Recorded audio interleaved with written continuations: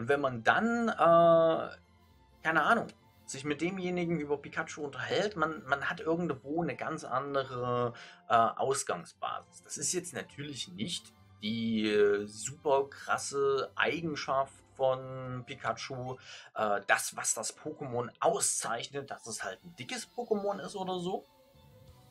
Aber es ist schon ein Unterschied.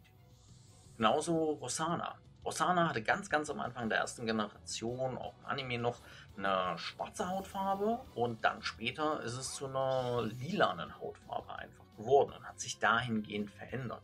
Und so ist es eigentlich bei jedem einzelnen Pokémon der Fall, dass es sich irgendwo in seiner Form oder in seiner Farbe verändert hat und man nicht die Pokémon da hat, die man in der allerersten Generation zu Gesicht. Mewtwo wurde zum Beispiel viel dynamischer quasi gemacht, viel, viel weicher, viel sanfter. Ich weiß nicht, ob ich es jetzt hier auf die Schnelle finde. Äh, Mewtwo aus der aller, allerersten Generation, das war wirklich, das sah richtig schlimm aus. Irgendwo hier müsste ich einen Sticker haben mit dem Bild von Mewtwo drauf aus der ersten Generation. Der hatte so richtige Kugeln am Körper, Beulen und alles Mögliche und sah wirklich sehr, sehr unförmig aus. Und äh, tatsächlich irgendwo, wenn man mal ganz ehrlich ist, sah Mewtwo aus wie kein richtiges echtes Pokémon, sondern eher ein Pokémon, was äh, in einem Reagenzglas Basis einfach herangezüchtet wurde, was halt nicht so ausschaut wie sämtliche andere Pokémon, die es in dem Spiel gibt oder in dem Spiel gab. Nice. Hier haben, wir, hier haben wir eins, was wir noch nicht im Pokédex registriert haben. Ein Galoppa. Das können wir hier eintüten und fangen. Nur nicht das Ziel aus den Augen verlieren. Das ist nämlich das eigentliche Ziel. Hier unsere Pokédex-Einträge mal ein bisschen auf Vordermann bringen. So. Und ähm, das, das finde ich halt auch wirklich sehr, sehr, sehr faszinierend, dass die Pokémon so eine massive Wandlung einfach durchzogen haben und dass man nicht mehr wirklich sagen kann, okay, die, dieses Aussehen, dieser Schatten, diese Silhouette gehört zu diesem Pokémon. Weil vor 20 Jahren kann das vielleicht noch ein ganz anderes Pokémon gewesen sein, was ganz anders aussah.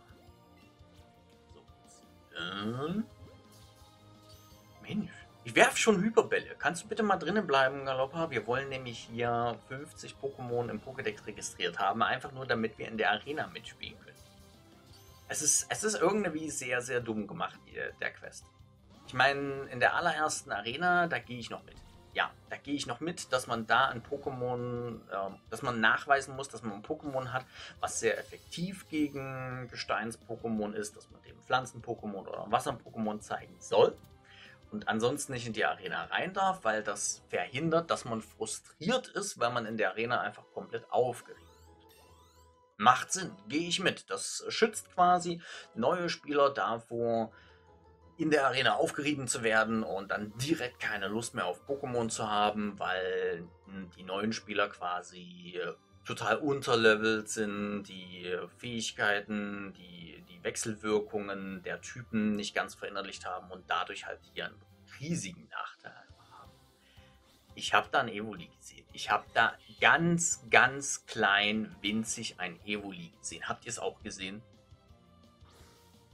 Ich meine, wir haben ein Evoli da, ja, von daher braucht man nicht unbedingt eins, aber ich habe da ein Evoli rumrennen gesehen. Das, das war echt episch. Das war echt episch jetzt in dem Moment, weil ha, das, ist schon schwierig. Ich, äh, es wäre möglich, ein Nachtara mit am Start zu haben. Aber es ist nicht unser Nachtara dann.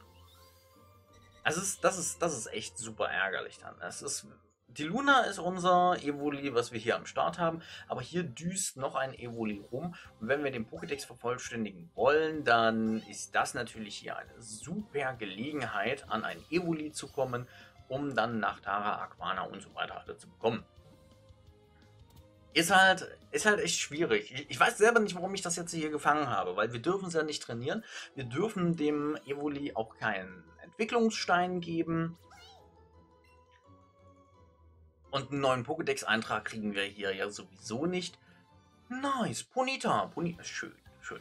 Galoppa haben wir gefangen, Bonita noch nicht. Das heißt, noch ein Eintrag für den Pokédex. Jawohl, das können wir gut gebrauchen. So. Wupp, großartig. Schön. So. Wunderbar, schön. Wo, wo war ich vor? Ach genau.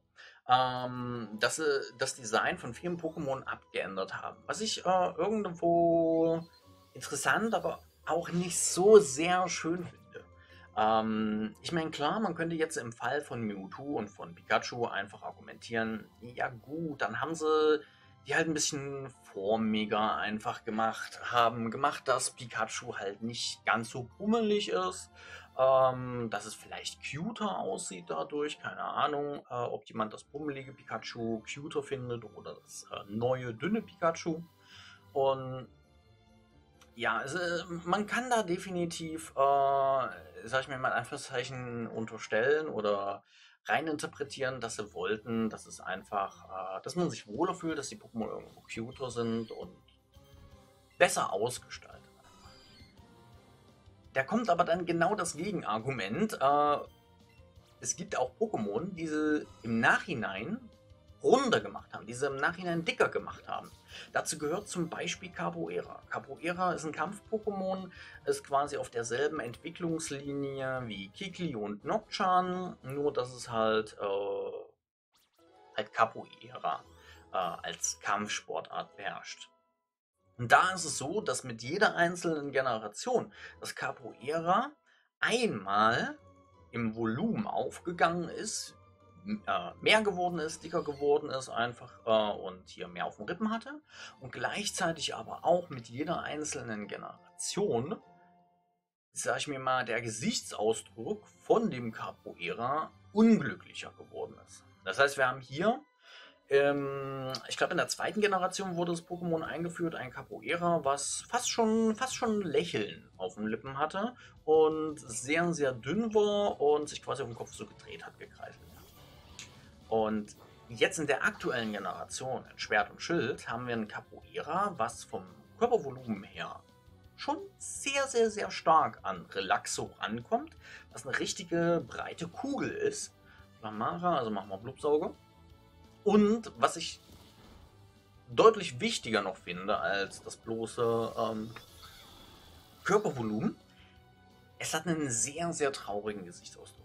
Es hat einen, äh, quasi einen Mund, der nach unten geht, ähm, was sehr, sehr frustriert reinschaut, sehr unglücklich, sehr wütend irgendwo auch reinschaut und ich weiß, ich weiß nicht, ob das das Pokémon sympathischer macht, ob das das Pokémon irgendwie authentischer macht oder so, weil ich wüsste nicht, warum man unbedingt ein Pokémon, welches sich quasi äh, hauptsächlich mit Kampfsportart auseinandersetzt und den lieben langen Tag immer bloß äh, Kampfsport macht, warum man das unbedingt mit den Generationen immer, äh, immer dicker machen muss, immer übergewichtiger und dann auch noch unglücklicher und mit einem grummeligeren Gesicht. Das ist, äh, das ist schon, das erschließt sich mir nicht wirklich, muss ich ganz ehrlich sagen. So, hier haben wir noch einen Supertrank, Finden wir da oben vielleicht noch ein paar Pokémon? Ich würde jetzt hier wirklich gerne die alle mitnehmen, gegen die wir was sehr Effektives haben. Ähm, wie zum Beispiel das Flamara jetzt gerade. Aber die Pokémon, wo wir jetzt nicht unbedingt was sehr Effektives gegen haben, würde ich erstmal ein bisschen auslassen, weil ich habe das Gefühl, dass wir hier einfach vom Level her schon relativ gut aufgestellt sind. Ich meine, klar, wir haben noch nicht das Level erreicht, womit man einfach die Top 4 durchrennen könnte, aber ich denke, es ist schon relativ gut aufgestellt. Level 44 gegen Level 35, das kann man jetzt nicht so pauschal betrachten. Kann man jetzt nicht sagen, okay, hier fast 10 Level, das reicht locker. Einfach aus dem Grund, weil es nicht bei Level 35 bleibt. Leider. Es ist, äh, wir haben schon gegen Level 40er gekämpft. Level 40 zu Level 44 ist noch okay. Und ich gehe hier einfach davon aus, dass äh, in der nächsten Arena wir schon gegen Level 50er Pokémon antreten werden. Von daher reicht das Level bei weitem nicht aus. Aber, jetzt kommt das große Aber, sämtliche, sag ich mir mal, Minions, sämtliche Kleintrainer in der Arena sind für uns leichte Beute, dadurch, dass wir eine sehr effektive Attacke gegen die im Petto haben. Und äh, dadurch, dass wir halt diese sehr effektive Attacke hier mit Quälzone gegen die nächste Arena haben, sollten wir die relativ easy ausschalten können, sollten da sehr, sehr viele Gegner besiegen können. Und dann von Level 46, sage ich mir mal, auf Level 48, Level 49 ohne, nee, von Level 44 auf Level 48, Level 49 ohne Probleme eigentlich hochkommen sollen, damit selbst ein Level 50er Gegner, sage ich mir mal, handelbar ist. Es, es wird kein Spaziergang. Definitiv, keine Frage. Es wird kein Spaziergang, die nächste Arena. Aber es sollte mittlerweile schon handelbar sein. Vor allem dadurch, dass wir den Spezialangriff von den Gegnern nicht senken können, das wäre irgendwo faktisch falsch, aber dass wir mit Lichtschild einfach machen können, dass Spezialattacken weniger Schaden. Drei Superbälle gefunden, nice, dankeschön, in der Fangtasche verstaut. So, von daher würde ich jetzt äh, mal nach unten gehen, mich weiter nach unten orientieren, im hohen Gras so ein kleines bisschen gucken, ob hier irgendwo noch ein neues Pokémon ist, was wir noch nicht gefangen haben. Falls hier keine neuen Pokémon kommen, haben wir definitiv noch ein Taurus, was wir fangen können. Uh, Shillock. Nee, nee, nee. Gegen Shillock haben wir nichts sehr. Ähm, hm. Schade.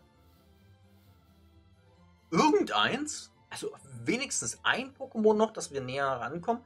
Wir sollten jetzt mittlerweile bei 40 Pokémon ungefähr sein, aber die 50 das haben wir schon. Na komm. Put, put, put. Wenigstens irgendeins. Gal Galoppa haben wir nun ausgerechnet auch schon. Das haben wir genau hier auch gefangen.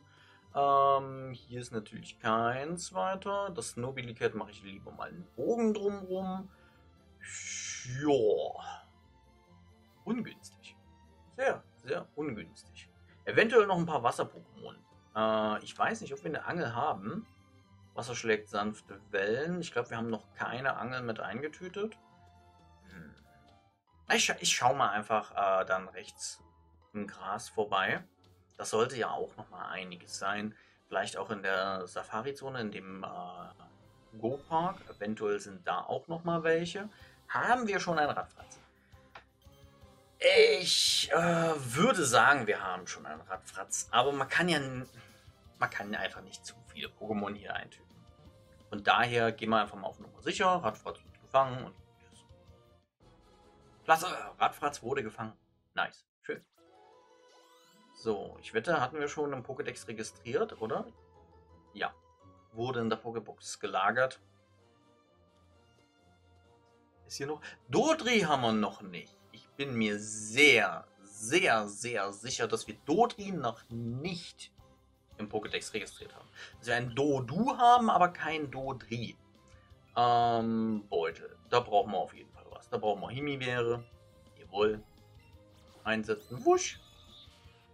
Beutel. Äh, haben wir andere Bälle? Superbälle haben wir. Ganz, ganz, ganz, ganz viele. Okay, gut. Dann müssen wir jetzt nicht die Pokébälle einsetzen, weil die würden hier garantiert nichts das ging grandios daneben. Da bist du sehr, sehr schön jetzt hier ausgewichen. Du kannst uns auch so zeigen, dass du gut ausweichen kannst. Hilft dir das aber auch, um aus dem Ball auszubrechen. Ja, leider schon. Leider schon. Das hat irgendwie doch geholfen. Nach, Mann, jetzt ist der Kreis wieder komplett rot. Aber ich habe auch keine Lust, jetzt hier jede einzelne Runde Bären einzusetzen und Bären zu füttern. Brauchen wir zum Glück auch nicht, weil das Ganze ist ja bloß Wahrscheinlichkeitsrechnung. Wenn die Wahrscheinlichkeit höher ist, es ist zwar einfacher, den zu fangen, aber ja, müssen wir jetzt nicht unbedingt. Neuer Eintrag im Pokédex. Schön, nice. Wie viele haben wir jetzt im Pokédex drin? Es müssten um die 40 sein. Wenn wir Glück haben, schon 41. Pokédex, komm her. Wie viele haben wir drin? Ähm, gefangen 41, gesehen 101. So. Okay, hier sind nur ein paar Taubsis. Die haben wir ja alle, selbst Taubos schon. Da würde ich sagen, orientieren wir uns jetzt mal rechts äh, von der Stadt. Da ist definitiv ein Tauros gewesen, was wir noch mit einfangen können, was wir mit eintüten können. Und ja. Hm. Besonderer Dank geht an dieser Stelle raus an die beiden Shiny Füchse GG McNuggets und G. Vielen Dank, Leute.